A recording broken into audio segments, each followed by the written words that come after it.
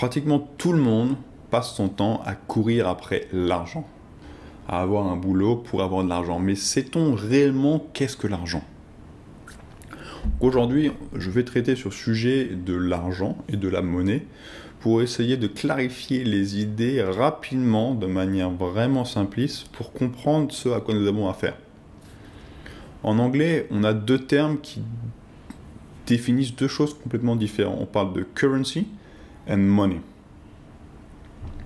Ici, on va traduire chaque terme euh, parce que disons que mes ressources sont anglophones. Donc, on va définir le terme currency par monnaie et le terme money va devenir argent. La distinction est vraiment critique à faire parce qu'il s'agit vraiment de deux choses différentes. L'argent et la monnaie sont deux choses complètement différentes et que la plupart des gens tendent confondre et c'est cette confusion qui rend la compréhension des mécanismes financiers complexes qui sont en réalité d'une simplicité euh, enfantine.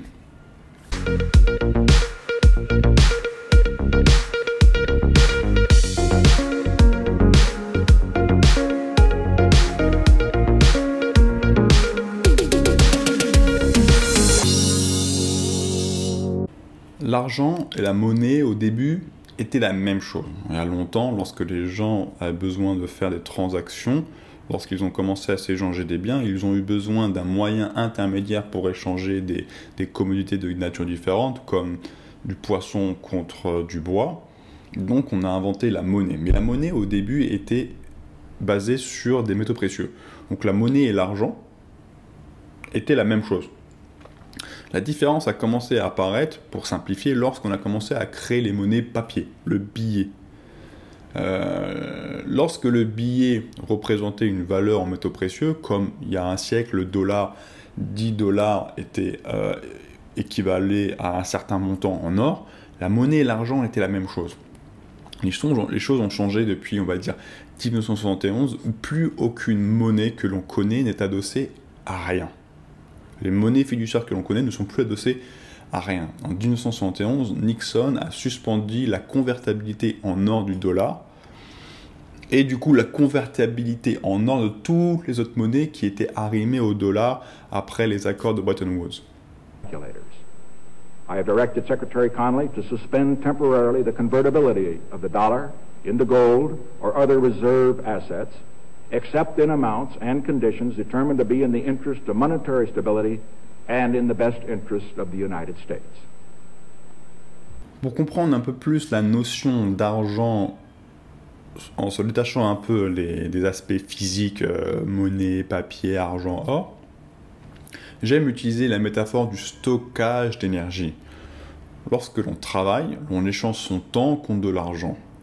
Et lorsqu'on reçoit une rémunération pour son temps passé, pour son travail accompli, que ce soit des billets, de l'or ou du blé, en fonction de comment vous êtes payé, vous allez accumuler ce revenu, que vous, allez le stocker. Par exemple, imaginez que vous recevez un salaire en euros, vous le stockez dans votre compte en banque.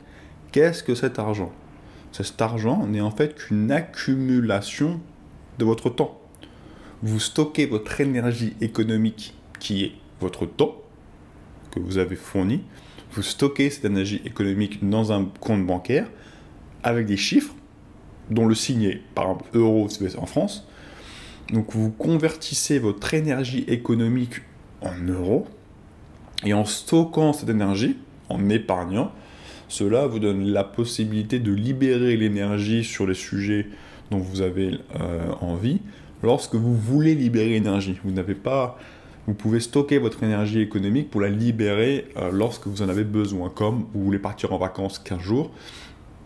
Vous convertissez votre énergie économique en plaisir, ou lorsque vous achetez un bien comme un nouveau téléphone portable, vous convertissez votre temps économique, votre énergie économique dans un bien matériel. Ce qui peut être intéressant du coup à commencer à réfléchir pour se rendre compte de quelle est votre fortune, c'est lorsque vous achetez un bien matériel comme un téléphone portable, par exemple 500 euros, posez-vous la question combien de temps de travail correspondent à ce bien matériel? Vous gagnez 1500 euros par mois net, vous achetez un téléphone 500 euros, donc vous avez travaillé 10 jours pour ce téléphone. Est-ce que le téléphone portable vaut 10 jours de votre temps? C'est une question qu'il faut commencer à se poser quand vous voulez vraiment réfléchir à lorsque vous voulez acheter et dans le monde consumériste dans lequel on vit, cette réflexion peut vraiment changer beaucoup de choses. Si vous voulez comprendre aussi un peu plus la notion, je vous conseille le film Time Out de Andrew Nichols avec Justin Timberlake, dans lequel les gens utilisent le temps pour payer, mais littéralement, c'est-à-dire qu'il n'y a même plus de moyens, euh, il n'y a même plus de monnaie intermédiaire entre le temps que vous consommez, entre le temps que vous donnez, le temps que vous gagnez, le temps que vous dépensez, votre énergie économique, vous le convertissez en temps et ce temps vous le dépensez. Et vous avez littéralement vos comptes bancaires, c'est du temps. Donc les pauvres ont peu de temps et les riches ont du temps. Mais regardez ce film et vous comprendrez que on n'a même pas besoin de monnaie fiduciaire et que la monnaie fiduciaire, le papier, c'est vraiment une convention pour stocker son temps dans une manière, dans, une, dans un matériel, dans une unité de mesure, dans une convention qui permet de convertir son temps dans des biens, dans des activités, et que son temps, c'est votre réelle fortune. Votre fortune, c'est votre temps. Pour aller un peu plus en détail sur la différence entre argent et monnaie, maintenant que vous avez compris que votre réelle fortune c'était votre temps, nous avons quand même besoin d'argent et de monnaie dans les échanges dans le monde dans lequel on vit. Quelle est la différence entre une monnaie et de l'argent? De l'argent doit avoir cette caractéristique intrinsèque. D'abord, ça doit être un moyen d'échange ça doit être une unité comptable, ça doit être portable, durable, interchangeable, divisible et doit conserver la valeur. Donc si vous prenez ces sept caractéristiques, demandez-vous comme ça de manière, posez-vous la question, est-ce que l'euro c'est de l'argent? L'euro est une monnaie car votre billet de 10 euros ne gardera pas sa valeur dans le temps. Toutes les caractéristiques sont remplies. Un euro est divisible, interchangeable, euh, durable, c'est une unité comptable.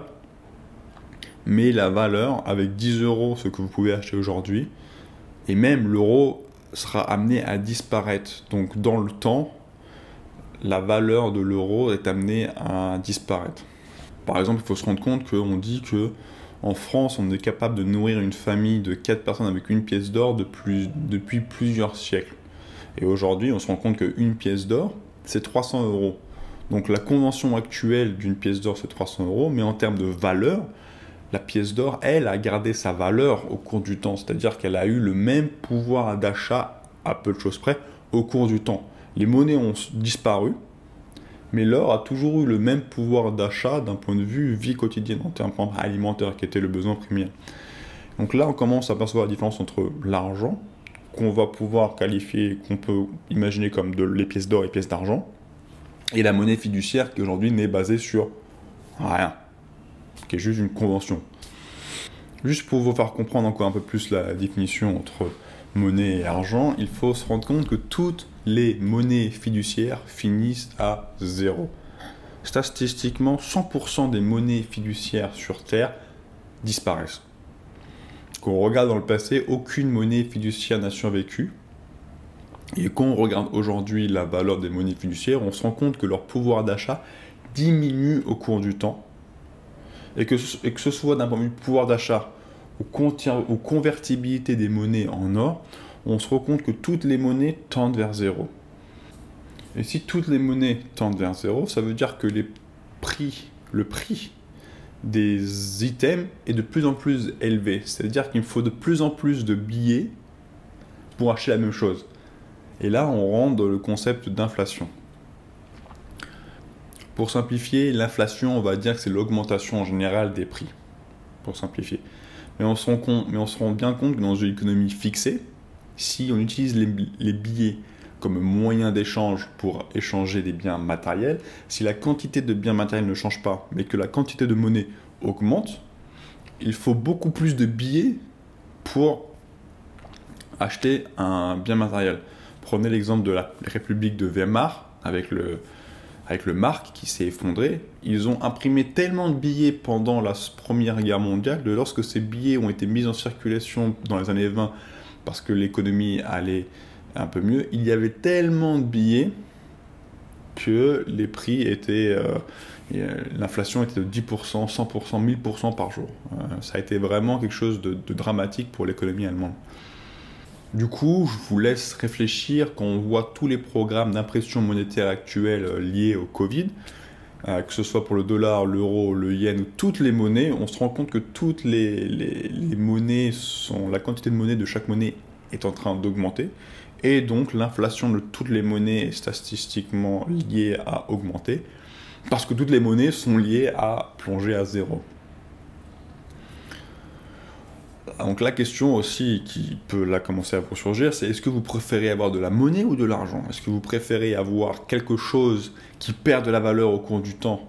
Et donc du coup, plus si vous voulez conserver le même pouvoir d'achat au cours du temps, il vous en faut de plus en plus, ou préfériez-vous avoir quelque chose qui garde sa valeur au cours de temps et qui permet de conserver et de stocker votre temps et de le transposer dans le temps sans avoir à vous soucier trop des fluctuations? La question qui peut surgir du coup c'est mais comment connaître le vrai prix des choses? Mais le vrai prix, on se rend compte que le prix, c'est mesuré dans une unité de mesure qui est actuellement la monnaie, qui est une convention. Mais en soi, quelle est la valeur, par exemple, d'un bien immobilier? J'ai une maison qui vaut 500 000 euros, mais quelle est sa valeur? Le prix, c'est 500 000 euros. C'est-à-dire que la maison a un prix sur le marché de 500 000 euros. Mais quelle est sa valeur? Qu'est-ce que cela vaut? Si on convertit en temps de travail, on peut dire bah, que c'est équivalent à 18 mois de salaire pour un salaire. Donc vous pouvez convertir le prix de votre maison en temps. Ou vous pouvez convertir le prix de votre maison en grammes d'or ou en baril de pétrole, ou en kilo de sardines. La valeur et qu'est-ce que cela représente? Et, là, on peut se rendre compte que la valeur d'un bien peut changer avec le prix. Par exemple, demain, j'ai une maison, actuellement, j'ai une maison de 500 000 euros, elle vaut 10,9 kg d'or. Demain, l'or, le prix de l'or double en euros.